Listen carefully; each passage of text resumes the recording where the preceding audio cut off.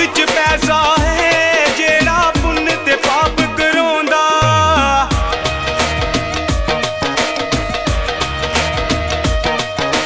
ਇਹ ਬੇਜੇ ਨਰਕਾਂ ਨੂੰ, ਨਾਲੇ ਗਲੀਆਂ ਵਿੱਚ ਰਲਾਉਂਦਾ।